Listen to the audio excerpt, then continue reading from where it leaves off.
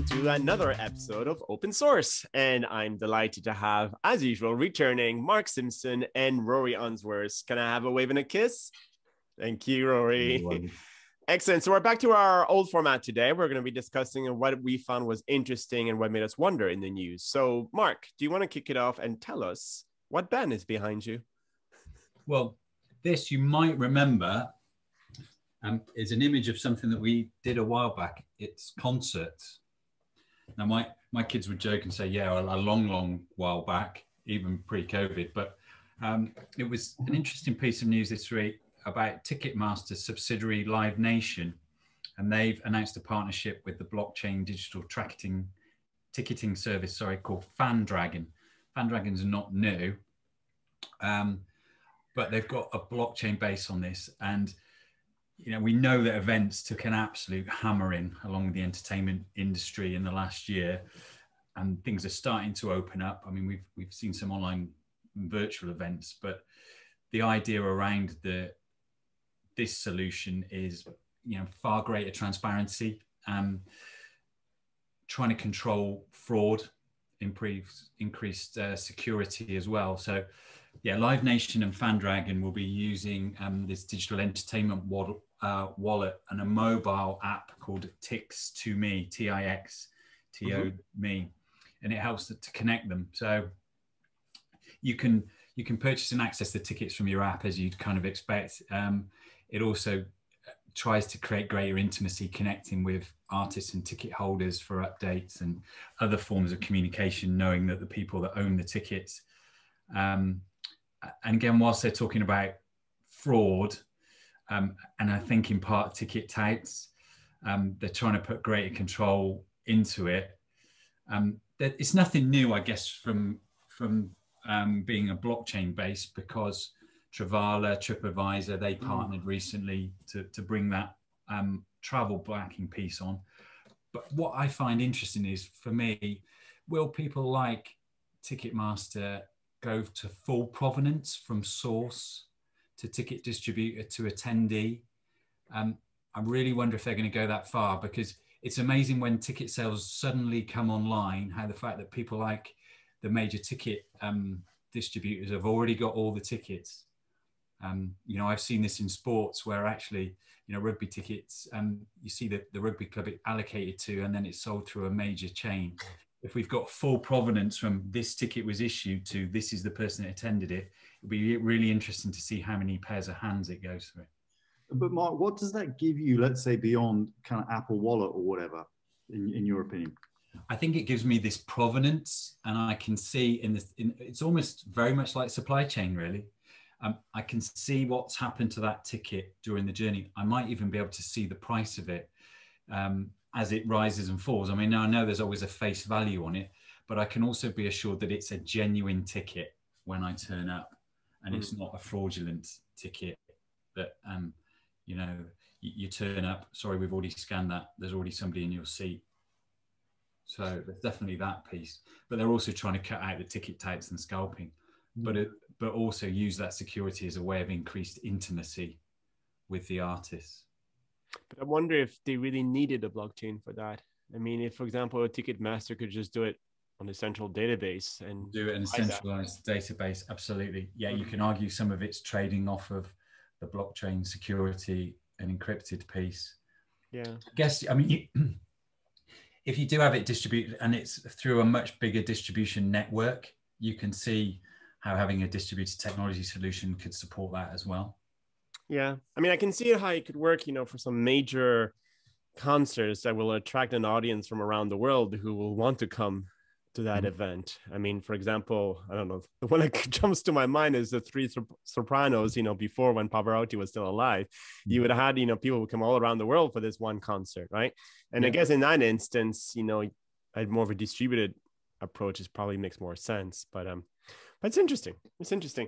Yeah. Uh, Rory, tell us what is it in the news that made you wonder or that you found interesting this week?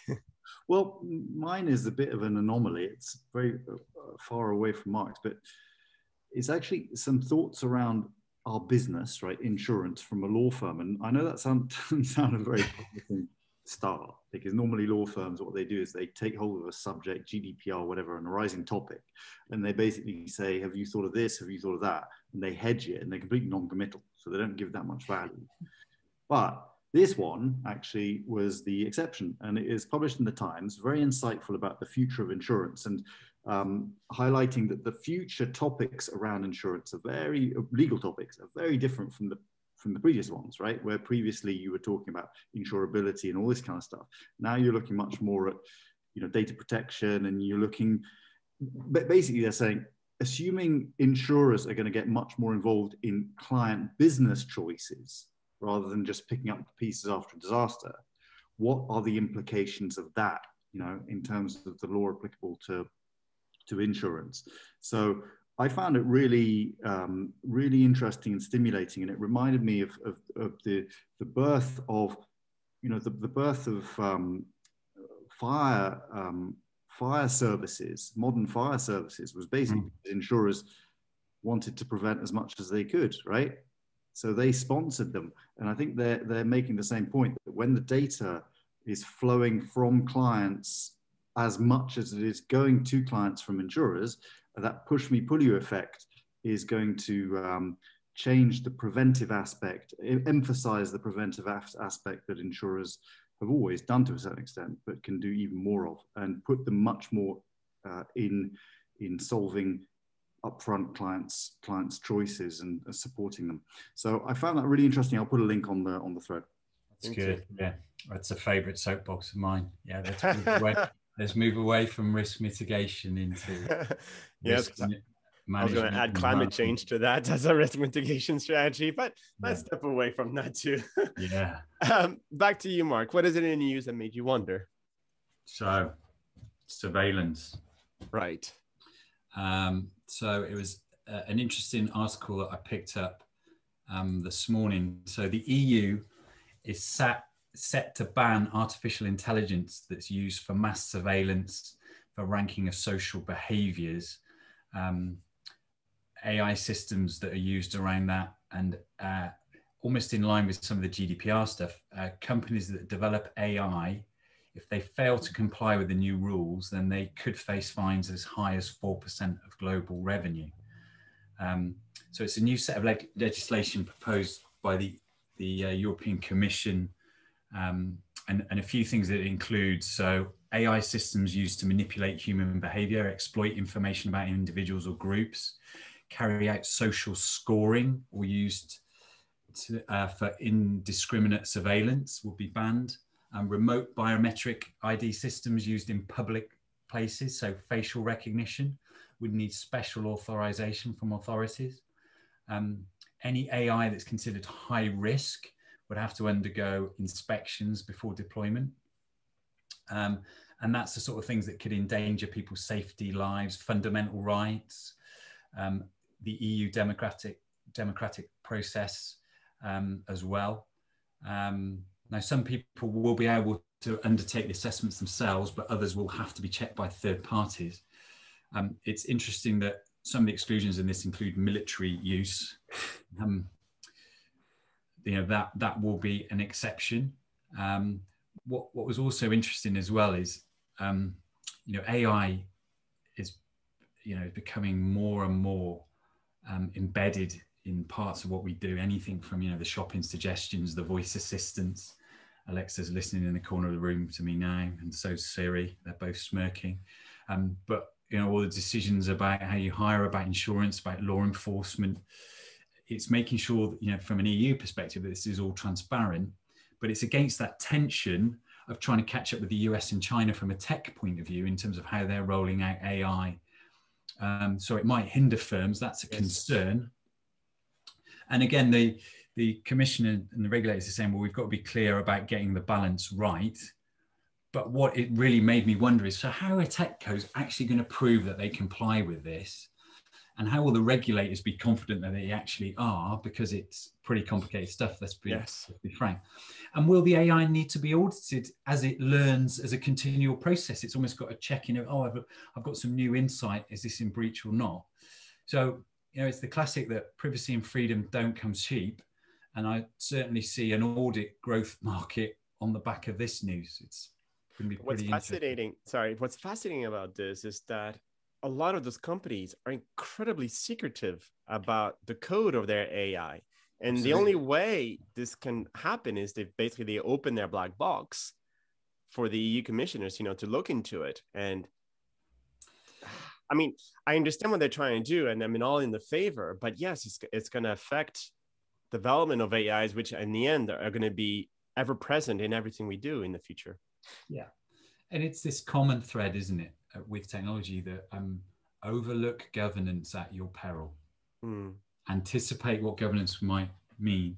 Make sure you're speaking to policymakers and regulators and testing the temperature throughout the process if you're doing anything new and groundbreaking.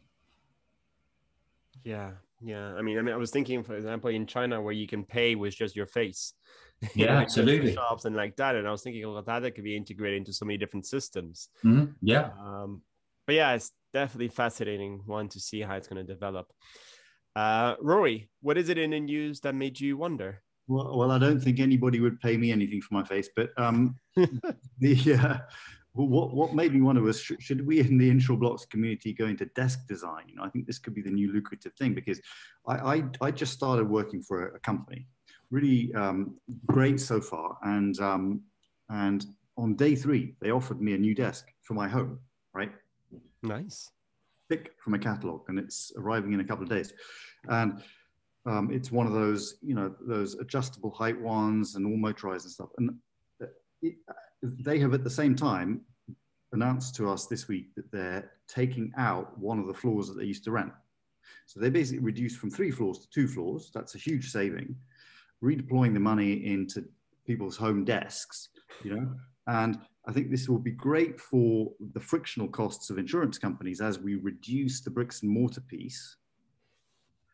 But does it create new growth? You know, is the is the this mental health thing that we're worried about uh, from people working too much from home. Is that something where you know they will have to invest more? This company that i'm working for every second day there's some kind of new activity designed to make you aware of your um, psychological state and manage that.